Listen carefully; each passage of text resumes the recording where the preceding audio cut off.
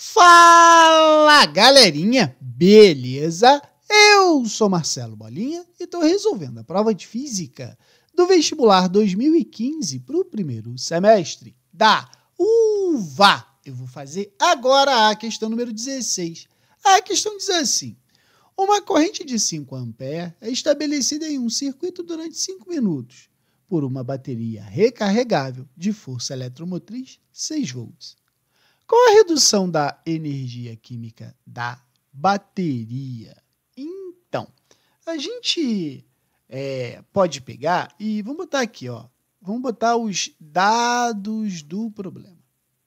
Ele disse que a corrente elétrica é de 5 amperes e esse circuito ele vai funcionar durante um tempo de 5 minutos, certo? Se a bateria tem uma força eletromotriz de 6 volts, ou seja, a voltagem da bateria é de 6 volts, qual é a energia química da bateria que foi reduzida durante o seu funcionamento? Certo? Então, a gente tem que lembrar que energia é igual a potência vezes o tempo. Mas potência elétrica é o que o pintinho faz. O pintinho faz pio. Então, eu posso dizer que a energia vai ser o quê?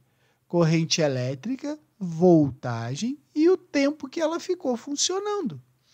Então, a energia vai ser 5 amperes, certo? 6 volts e o tempo. Aqui aqui você tem que ter cuidado, porque todas as alternativas né, estão em quilojoule.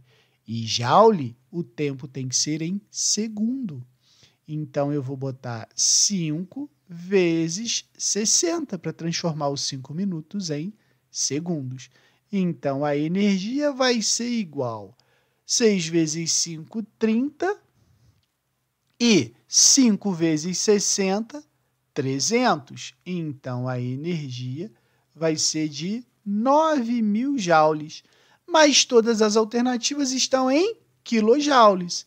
Então, a gente sabe que a cada mil joules equivale a 1 quilojoule.